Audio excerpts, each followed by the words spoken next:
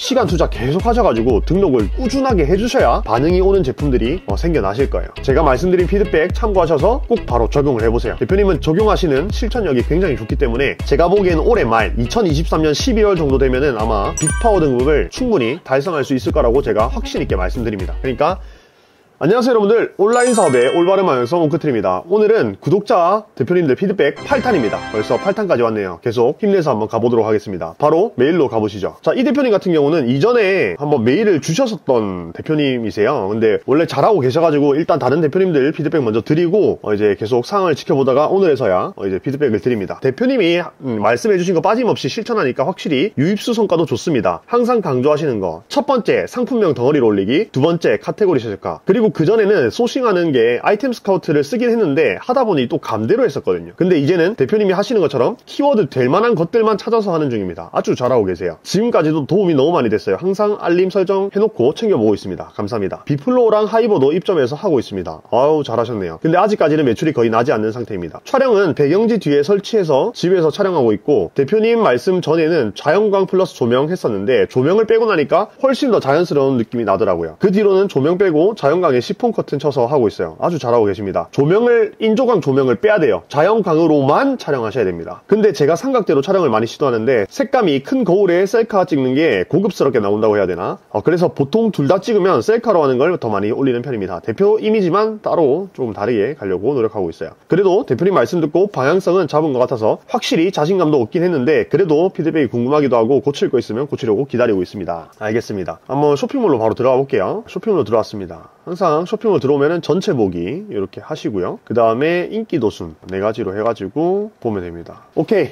이 대표님은 제가 피드백을 한 다섯 가지 방향으로 드릴 수 있을 것 같아요. 일단은 피드백을 드리기 전에 잘하신 것부터 말씀드리고 넘어가 보도록 할게요. 이 대표님은 제 영상을 계속 지켜봐주고 계셨어요. 그리고 그거를 바로바로 바로 적용을 잘 하시는 대표님이셨어요. 일단 잘한 것 첫 번째는 상품명을 아주 잘 덩어리로 작성하고 계세요. 자 덩어리로 작성하는 게 어떤 느낌인지 모른다 하시는 대표님들은 이 대표님이 작성하신 하신 상품명을 보시고 한번 감을 잡아가시면 좋을 것 같아요. 지금 보시면은 남자 목폴라 니트라는 키워드가 있죠. 그럼 이 키워드를 통째로 이렇게 써주는 겁니다. 남자 터틀넥 니트 이렇게 키워드가 있으면 이렇게 통째로 써주는 겁니다. 이 상품에 맞는 키워드를 써주는 거죠. 그렇게 써주니까 어때요? 이게 노출도 잘 되고 이제 구매가 많이 일어나기 시작했다는 거예요. 그러면서 서서히 순위가 높아지는 겁니다. 그런데 이렇게 두 개만 쓰면 노출이 안 되니까 우리가 필요한 게 뭐라고 했죠? 네이버 쇼핑 검색 광고를 해야 된다고 말씀드렸죠. 쇼핑 검색 광고를 잘 모르시는 분들 분들은 제가 올려놓은 쇼핑 검색 광고 1탄, 2탄 두 가지 영상을 보시고 적용을 바로 해보시면 됩니다. 그래서 지금 원래 이 대표님 처음 들어왔을 때 쇼핑몰의 상품명은 이렇게 되어 있지 않았어요. 지금 여기 보시면 남자 사계절 키 높이 발편한 인조가죽 뭐 이런 식으로 돼 있었거든요. 그런데 지금 제 영상을 보시고 이런 식으로 남자 첼시 부츠, 키 높이 첼시 부츠 이런 식으로 다 바꿔놓고 계세요. 이런 거 같은 경우는 지금 리뷰도 48개라서 키 높이 첼시 부츠 이거 순위 어떤지 한번 볼게요. 아이템 스카우트 들어오셔가지고 랭킹 추적 실시간 들어오셔가지고 키 높이 첼시 부츠 그리고 여기 스마트 스토어 명을 치시면은 이렇게 검색 결과를 알 수 있습니다. 자, 보면은 1페이지 18이 들어왔죠. 그러니까 제가 뭐라고 했어요? 이렇게 상품명을 덩어리로 써놓고 거기에 구매 건수가 조금 쌓이게 되면은 상위로 엄청나게 빠르게 올라간다고 했죠. 그래서 지금 막 시작하시는 대표님들은 선택과 집중을 해주셔야 돼요. 내가 이 키워드도 잡 고 싶고 저 키워드 잡고 싶고 해가지고 막 이것저것 짬뽕해서 쓰면은 정확도가 떨어지기 때문에 순위가 낮아질 수밖에 없어요. 이런 식으로 상품명을 덩어리로 쓰시잖아요. 그러면은 순위가 엄청나게 효과적으로 눈에 띄게 높아지는 것을 확인하실 수가 있을 겁니다. 겁니다. 자 그리고 두 번째로 좀 잘하신 점은 뭐냐면 바로 썸네일이에요. 썸네일이 어때요? 눈에 바로바로 바로 들어오죠. 지금 제품들이. 왜 그래요? 기본에 충실했기 때문이에요. 기본은 뭐예요? 상의는 상반신 컷으로 하의는 하반신 컷으로 그리고 이렇게 전신은 전신 컷으로 이런 식으로 기본을 잘 지켜주고 계시기 때문에 눈에 잘 들어온다는 거예요. 상품이. 썸네일은 기본을 지켜주시는 것부터 시작을 하시는 거예요. 그렇게 기본을 잘 지켜주시다 보면은 이런 식으로 목폴라 니트 같은 경우는 소구점이 명확하죠. 이렇게 목을 감싸고 있는 거. 이렇게 클로즈업 컷 딱 눈에 잘 들어오잖아요. 이런 썸네일도 연출을 하실 수 있는 센스나 감각이 생긴다는 겁니다. 세 번째로 칭찬드리고 싶은 점이 뭐냐면 가격대예요, 가격대. 지금 가격을 31,000원, 32,000원, 뭐 26,000원 이렇게 한 게 아니고 28,900원, 어, 19,800원, 그리고 58,900원, 59,800원 이런 식으로 가격대도 센스 있게 잘 설정을 해두셨고요. 그리고 판매가도 아주 적정해요. 제가 저는 이제 남성 의류 쇼핑몰을 운영하기 때문에 이 제품이 얼마의 판매가가 적정할 것이다 라는 게 제 머릿속에 있거든요. 그런데 이런 반지범 니트 요즘 많아요. 그런데 지금 딱 19,800원임 정도면은 적당해요. 그리고 목폴라 니트도 28,900원 정도면 아주 적당해요. 자, 그러면은 28,900원짜리니까 이게 상품 원가가 얼마 정도로 떨어져야 되냐 했을 때 한 14,000원에서 16,000원 사이. 16,000원이면은 사실 이 판매가를 좀 더 높여줘야 되고 한 14,000원 정도면은 이 판매가가 적정하다는 거예요. 그리고 이 대표님 같은 경우는 택배비를 받으시네요. 그러면은 한 16,000원까지도 받아도 될 것 같아요. 그리고 지금 딱 봤을 때 이 상품의 도매 원가가 한 16,000원 정도, 15,000원 정도 하는 것 같아요. 그래서 지금 마진율도 충분히 잘 보고 계신다. 그래서 그런 점을 또 좀 칭찬을 드리고 싶어요. 아주 잘하고 계세요. 이런 반팔티도 18,900원에 지금 팔고 계시잖아요. 그래서 이게 도매 원가가 한 8,000원, 9,000원 할 겁니다. 요거 굉장히 잘 소싱을 하시는 것 같아요. 원래는 이 정도까지는 아니었는데 점점 실력이 늘고 계신 것 같아요. 자, 그러면 개선해야 될 점 다섯 가지를 지금부터 말씀드리도록 하겠습니다. 첫 번째는 자, 사진이에요, 사진. 사진 지금 잘 찍고 계신 것 같은데 뭐가 문제일까를 봤을 때 요런 거 있죠, 요런 거. 이게 지금 사진의 색감이 초록 색깔을 띠고 있죠. 요런 거를 어떻게 조절을 하냐면 요거는 색조의 영역이에요, 색조. 제가 간단하게 사진의 색감에 대해서 말씀드리고 넘어갈게요. 사진의 색감은 두 가지로 조절할 수가 있어요. 자, 첫 번째는 뭐냐면 색조. 그리고 두 번째는 뭐냐면 색 온도예요. 색 온도는 아이폰에서 이제 따뜻함이라고 표현되는 건데 첫 번째 색조부터 들어가 볼게요. 색조라는 개념은 색조가 높아지면은 마젠타 끼를 돌아요. 마젠타라고 하면은 불그스름한 끼예요. 그리고 색조가 반대로 낮아지게 되면은 지금 이 보시는 사진처럼 녹색 끼를 돌아요. 녹색 끼. 그린 끼가 좀 돌 거든요. 자, 그래서 우리가 상품을 촬영을 하고 나서 사진을 올릴 때 아이폰으로 이런 색감은 조절을 할 수가 있어요. 포토샵을 하지 못해도. 자, 그러면 이렇게 초록 색깔, 녹색끼가 좀 돌면은 어떤 걸 만져주시면 되냐면 색조를 올려주시면 됩니다. 그 반대로 가시면 돼요. 이렇게 지금 녹색끼가 돌고 있으니까 색조를 이렇게 좀 올려주시면은 이게 색깔이 녹색끼가 조금 죽으면서 화이트 밸런스가 맞춰지거든요. 그래서 모든 사진에는 이 화이트 밸런스가 굉장히 중요합니다. 화이트 밸런스라고 하면은 화이트 색깔을 화이트처럼 딱 보이게 하는 거예요. 근데 지금 보면은 이 뒤에 하얀 색깔 벽지 있죠. 이게 우리가 실제로 눈으로 봤을 때는 분명 하얀 색깔일 거예요. 그런데 지금 우리가 이 사진으로 봤을 때는 어때요? 살짝 녹색기가 돌고 있단 말이에요. 그 이유는 뭐예요? 색조가 높게 나왔기 때문이에요. 근데 이 사진 같은 경우는 어때요? 하얀 색깔이 하얀 색깔로 좀 더 보이고 있죠. 이 사진은 자연스럽게 화이트 밸런스가 잘 맞춰진 사진이죠. 그런데 이 사진을 썸네일로 하셨으니까 이 사진도 색조를 조금 높여 주셔가지고 마젠타 끼를 추가해서 화이트 밸런스를 맞춰 주셔야 된다는. 자 그리고 두 번째는 뭐냐면 색 온도인데요. 색 온도는 높 아지면 높아질수록 노란 색깔 그리고 좀 더 많이 높아지면 불그스름한 색깔로 바뀝니다. 우리가 석양 같은 거 노을 질 때 색 온도가 굉장히 높다라고 표현을 하거든요. 그래서 이 색 온도의 개념도 높게 설정했다가 낮게 설정해봤다가 해서 화이트 밸런스를 맞춰주셔야 돼요. 자 그리고 색 온도가 낮으면은 푸르스름한 색깔을 띄어요. 우리 공포 영화 같은 거 보면은 굉장히 뭔가 차갑죠. 그게 뭐냐면 색 온도가 낮기 때문에 그래요. 그래서 공포 영화 같은 거 찍을 때는 카메라 감독님들이 카메라 필터를 색 온도가 좀 낮은 필터를 많이 씌우시거든요. 그 이유가 뭐냐면 차가운 느낌을 주기 위해서 색 온도가 낮은 필터를 사용한다라고 보시면 돼요. 지금 이 사진 같은 경우에는 색 온도도 조금 높여주시고 마젠타기도 조금 올려주셔가지고 화이트 밸런스를 맞춰주셔야 된다 는 거예요. 이 개념을 아는 순간 색감을 조절할 때 조금 더 효율적으로 관리를 할 수 있겠죠. 사실 이러한 개념이 없으면은 막 노출도 만져보고 휘도도 만져보고 막 밝기도 만져보고 이런데 그럴 필요가 없어요. 색감은 색 온도랑 그 다음에 색조 이 두 가지로 맞추는 겁니다. 요런 사진 같은 경우는 다 괜찮은데 또 요런 사진은 또 색조가 조금 높게 나왔죠. 사실 이렇게 색조가 높게 나오는 이유는 뭐 시간대에 따라 달라질 수도 있는데 창문에 이제 썬팅 작업이라고 하죠. 썬팅 작업을 보통 이제 초록 색깔로 많이 하시거든요. 그렇게 초록 색깔로 돼 있으면 사진이 녹색기가 많이 돌도록 나올 수가 있어요. 그래서 그런 것들은 후보정, 색감 보정을 통해서 화이트 밸런스를 꼭 맞춰주셔야 된다는 거. 이렇게 사진들 중에 요건 또 괜찮은데 요건 또 안 좋죠. 자, 이렇게 사진이 자꾸 색깔이 왔다 갔다 해요. 그래서 전체적인 사진 색감을 꼭 맞춰주셔야 된다는 거. 동영상도 색감 조절을 할 수 있으니까요. 꼭 색감 조절을 아이폰 편집 기능을 통해서 한번 해보시는 거를 추천드릴게요. 추천드리는 게 아니라 꼭 하셔야 돼요. 아시겠죠? 색감을 꼭 다 맞춰주셔야 돼요. 자, 그리고 두 번째는 뭐냐면 지금 사진을 찍으실 때 피사체, 그러니까 대표님이 모 델이시니까 그 모델과 카메라 간의 간격이 많이 넓은 것 같아요. 자, 그걸 어디서 느꼈냐면 지금 이런 동영상 찍는 거는 괜찮거든요. 근데 지금 여기 보시면은 요 질감을 조금 더 살릴 수 있을 것 같아요. 지금은 근데 어떤 느낌이냐면 멀리서 카메라를 셀카로 찍고 크롭을 한 느낌이에요. 그러면은 화질이 죽을 수밖에 없거든요. 그래서 화질을 최대한 선명하게 나타내시려면은 좀 사진을 이렇게 가까이서 가까이서 찍으니까 상대적으로 조금 더 선명하게 나오는 것을 확인할 수 있습니다. 근데 이것도 조금 부족해요. 조금 화질이 깨졌잖아요. 이것도 crop을 좀 멀리서 찍고 crop을 많이 한 느낌이에요. 그러니까 아예 사진을 찍으실 때 좀 가까이서 그 카메라 눈하고 모델하고 거, 거리를 좀 가까이서 한번 찍어보려고 노력을 해보세요.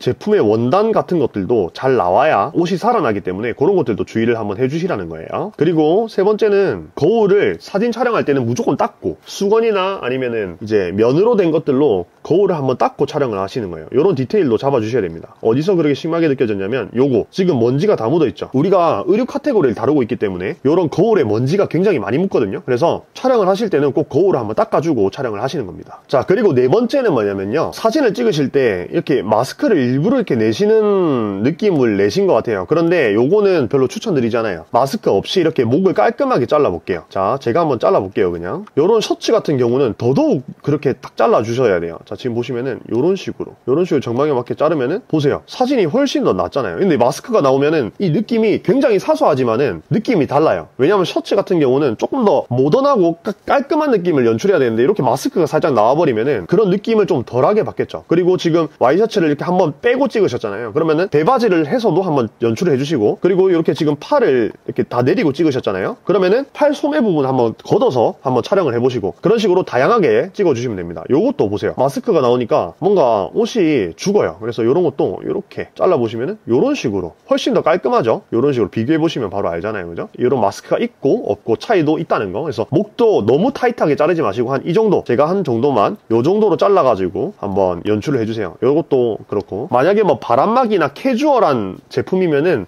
괜찮을 수도 있어요. 근데 이런 셔츠 제품일수록 좀 더 유의를 해서 그런 부분들을 신경을 써주시면은 더 베스트일 것 같습니다. 배바지도 한번 연출해 주시고 이 셔츠를 좀좀 다양하게 연출을 해주세요. 고객분들이 딱 들어왔을 때 이 셔츠를 입고 어떤 식으로 내가 코디를 할 수 있는지 상상할 수 있도록 만들어 주시라고 제가 말씀드렸죠. 자 그리고 다섯 번째는 비교 제품 확보하기입니다. 상세 페이지 내에서 비교 제품 확보하는 거. 자 이 대표님 같은 경우는 어떤 제품은 또 상세 페이지에 비교 제품이 있더라고요. 그리고 또 어떤 제품은 비교 제품이 없고 대부분 비교 제품이 없어가지고 제가 이거 한번 언급하고 넘어갈게요. 자 이런 것도 사실 목폴라 니트, 터틀넥 니트 이런 제품들은 비교 제품 구하는 게 쉬워요. 아니면은 아예 연출을 하셔도 돼요. 이 터틀넥 니트를 다른 타사 제품을 사가지고 목을 좀 찢은 다음에 좀 너덜너덜하게 만들어서 그 목 부분을 클로즈업해서 비교 제품으로 사용하실 수가 있고요. 아니면은 뭐 반폴라 니트를 바로 비교 제품으로 사용하셔도 돼요. 그러니까 비교 제품이라고 해서 꼭 그 비교 제품이 뭐 다 헐어가지고 다 못 쓰는 제품들이 아니라 그냥 이 제품의 장점을 극대화시켜줄 제품이라고 생각하시면 됩니다. 자, 터틀넥 니트랑 비교할 수 있는 거 반폴라 니트 바로 비교할 수 있죠? 반폴라 니트는 어때요? 목이 이렇게 저처럼 이렇게 반만 올라와 있죠? 근데 이 터틀넥 니트는 목 끝까지 이렇게 올라와 있잖아요. 그 두 가지를 비교해주면서 추운 겨울에는 터틀넥 니트가 조금 더 보온성이 유리하다 이런 점들을 나타내 주시는 거죠 지금 여러 가지 코디들을 이렇게 연출하시는 건 좋아요 그런데 그런 비교 제품이 없으니까 뭔가 상세 페이지가 굉장히 빨리 끝나는 느낌이죠 그리고 뭐 여기 linking 스티치라고 돼 있죠 그러면 linking 스티치랑 비교되는 제품을 구해가지고 요게 장점이 조금 더 부각될 수 있도록 만들어 주셔야 된다는 거죠. 아니면은 이런 목 부분을 이렇게 했으니까 반폴라 니트랑 비교했을 때 그런 길이감도 비교해 줄 수가 있고요. 그리고 이 캐시미어 니트라고 했잖아요. 그럼 캐시미어 니트의 장점들 여러 가지가 있죠. 캐시미어 니트는 굉장히 부드러우니까 그런 부드러움을 조금 더 강조하기 위해서 이제 반대되는 개념인 아크릴 니트.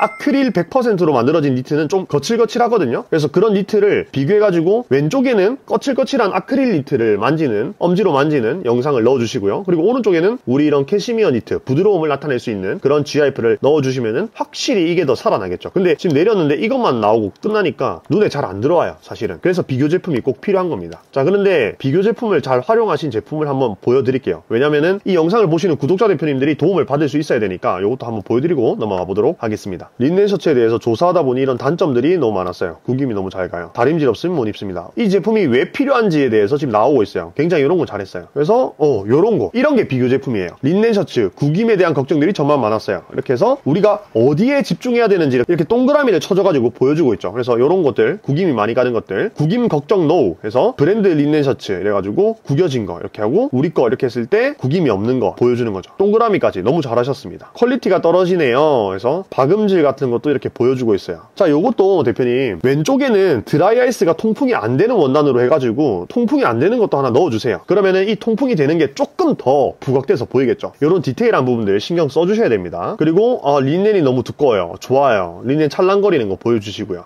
딱 한 가지 단점. 화이트 색상은 비침이 있다. 이런 것도 솔직하게 말씀해 주시니까 고객님들이 조금 더 신뢰를 느낄 수가 있겠죠. 자 그런데 이렇게 텍스트를 쓰실 때 다 검은 색깔로 통일을 하셨잖아요. 이런 것들도 고객님들이 어디에 시선을 둬야 되는지 중요한 부분. 구김이 발생하지 않는다에 빨간 색깔이나 파란 색깔로. 그리고 저렴한 셔츠 느낌이 나지 않는다. 이것도 색깔을 넣어가지고 고객님들이 어디에 시선을 둬야 되는지도 하나하나 checking을 해주시면 더 100점짜리 상세 페이지가 될 수 있겠죠. 그러면서 이렇게 뒤에 피팅컷 나오면 되겠죠 좋습니다. 어쨌든 사실 저는 이 대표님의 처음 쇼핑몰의 퀄리티를 알고 있어서 딱 지금 봤을 때는 많이 나아졌어요. 그래서 지금 어쨌든 파워 등급이시거든요. 그러니까 판매량이 조금씩 올라오고 있다는 말이에요. 제 영상만 보시고도 이렇게 충분히 개선을 해가지고 성과를 내실 수 있다는 점 한 번 더 말씀드리고 이 대표님이 완벽하다는 거 아니에요. 이 대표님도 충분히 고쳐야 될 점들이 있어요. 그래서 제가 알려드린 다섯 가지 꼭 고쳐보시고요. 마지막으로 제가 이거 한번 말씀 드리고 넘어가 볼게요. 하이버 입점을 하셨다고 했잖아요. 그래서 하이버로 한번 들어가 볼게요. 하이버 들어왔습니다. 자 이렇게 하이버에 들어왔는데 지금 보면은 하이버에는 상품을 지금 올리고 계시는 중일 것 같아요. 기억하셔야 될 게 있어서 좀 말씀을 드릴게요. 자 지금 보시면은 요거 지금 제일 잘 팔리고 있잖아요. 요거 요거 지금 썸네일 똑같이 해놨죠. 이 썸네일을 하이버에는 다르게 만들어 주셔야 돼요. 이유는 뭐냐면 하이버에도 썸네일을 똑같이 하면은 우리가 가격 비교 매칭으로 묶일 때 하이버까지 같이 묶이거든요. 그런데 하이버는 왜 그런지 모르겠어요. 가격 비교로 매칭했을 때 하이버에서 이렇게 31,400원이라고 설정해놔도 어, 이 하이버 플랫폼에서 조정을 하나 봐요. 자동으로. 그래서 가격 비교 매칭에서 최저가로 노출이 됩니다. 우리가 실제로 31,400원으로 설정을 해놔도 가격 비교 매칭으로 묶였을 때 이게 뭐 29,800원 또는 29,700원으로 노출이 되면서 최저가가 하이버로 노출이 돼요. 그러면은 고객님들이 가격 비교 매칭 내에서 최저가 사라고 얘기를 했을 때 우리 스마트 스토어로 이렇게 들어와야 되는데 그게 아니라 하이버로 흘러 들어가는 경우가 굉장히 많아요. 그렇기 때문에 하이버에 등록해 주실 때 또는 룩핀에 등록해 주실 때는 비플로우랑 네이버의 썸네일과 다른 사진을 등록해 주셔야 돼요. 그리고 요거는 제가 또 다음에 더 자세하게 다룰 건데 하이버에 등록하실 때 상품명은 네이버처럼 이렇게 간결하게 하지 마시고 키워드를 조합해서 등록을 하셔도 됩니다. 하이버에는 카테고리 최저가가 없는 이유는 뭐냐면 자 지금 여기 보시면은 골지 크롭 니트 맨투맨 돼 있죠. 자 네이버에서는 이 니트라는 키워드의 카테고리랑 이 맨투맨이라는 키워드의 카테고리랑 다르잖아요. 네이버에서도 다르고 하이버에서도 달라요. 그런데 하이버에서는 만약에 이 상품이 판매가 잘 되잖아요. 그러면은 니트라고 검색을 해도 이 상품이 노출이 되고 맨투맨이라고 검색을 해도 이 상품이 노출이